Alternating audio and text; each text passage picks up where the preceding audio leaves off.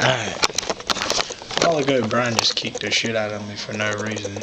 He's in the living room right now watching the Florida game. And, uh, I'm about to call him to his room, telling him I'm in his room. I'm about to hit him in the back of the head with this goddamn 17 inch shoe. Watch this. Hey, Brian!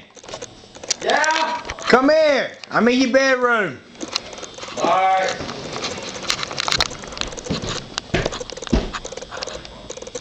What's up, man? Oh! Whoa, you bastard! what was that about? Motherfucker! Ah, damn it! Ah! ah God damn it!